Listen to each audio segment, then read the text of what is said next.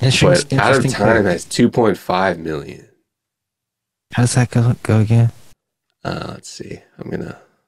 Interesting put, pick putting Tyler on there because like I like Tyler, but I don't think that His features are always kind of like that. his features are weak, dude. Like Yeah. you don't have to put your friends on the song, bro. Like they'll still be your friends. Yeah, and it always Like- kind of like- it's a little bit like a speed bump in the record usually.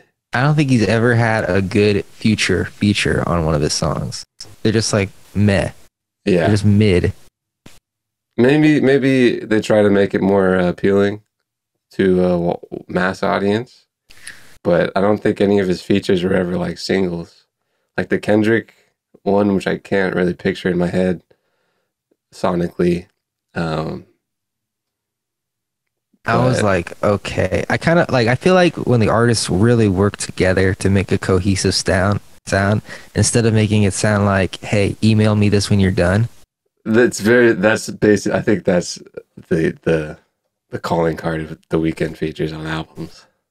There is. That sucks. I don't think he does that, but like it sounds like that. Yeah, Um, because he did a song with Juice WRLD that I think he did after Juice WRLD died, and it sounds beautiful. Like it sounded like they were like went on a retreat for five years and really got But to is it- know was each it other. rappy? Uh, it wasn't that rappy. It was more singy. That's what I'm saying. I think he picks rappers, and then he has to like make a, a four by four beat, and he like doesn't have like cool like orchestras. Yeah, I mean, I guess I kind of like the the Lil Wayne one. I didn't. Yeah, it was. I think it. I think it was a little above mid for me.